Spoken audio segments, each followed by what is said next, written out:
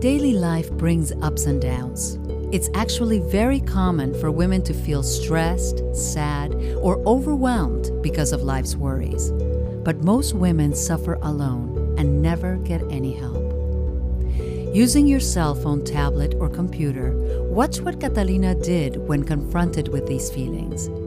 See how she faced her fears, how she found support in her community, how she took action to change worries into possibilities, how she gained perspective on herself and her life.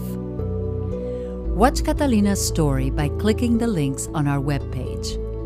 Then meet Catalina's nurse therapist, Veronica Sanchez, RN. Learn about the feelings that many women experience and why there's hope for a better life. Then click to do an online exercise with Veronica to find out what's holding you back from getting the help you need. Discover options to move forward in your life and resources that can support you. Our website is private and a good way to take the first step towards feeling better. Remember, it's worth it because you're worth it.